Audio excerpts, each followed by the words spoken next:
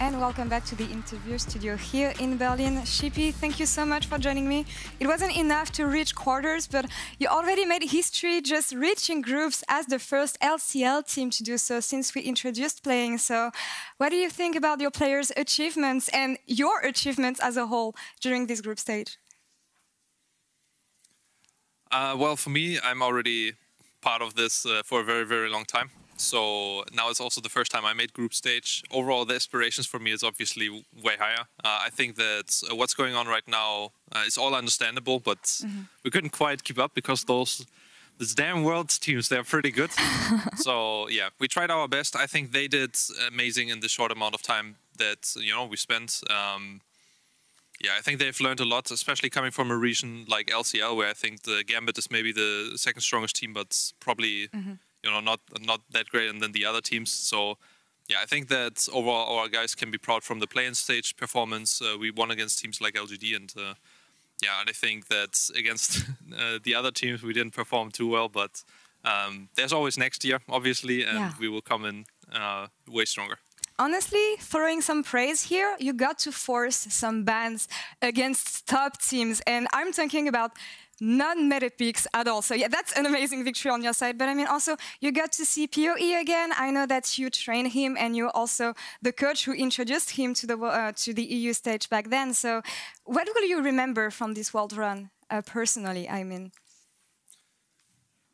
Um, I think a lot. Um, mm-hmm. I take away a lot from that. Obviously, I found Power, uh, PowerOfEvil, and we talked about it. Uh, he just luck, and I will face him now again soon um, and hopefully see we can get some redemption from the loss before.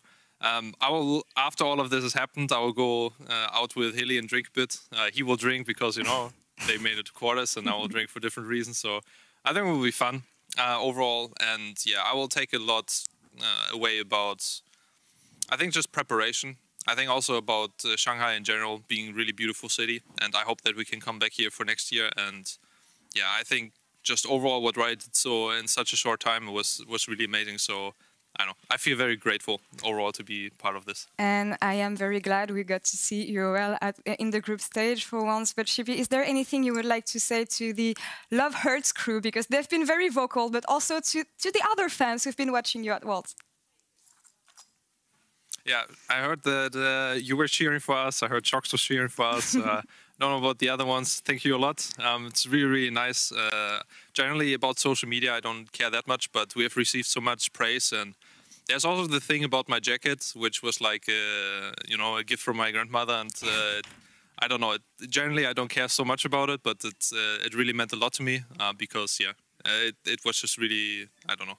The fan support has been amazing. Yeah. I heard from some yeah, it was a really good luck charm, and uh, I heard so much positive stuff also from the Chinese and Korean community, from the European community. Uh, I don't know. I, I, grew up not with this kind of uh, amazing support, and now we get like so many eyes on us and so many great words. Uh, I'm just very thankful and for supporting me, my players, and my family. That's wonderful to hear, and we'll get to see you again one last time against FlyQuest later today. But for now, Sheepy, thank you very much for the interview.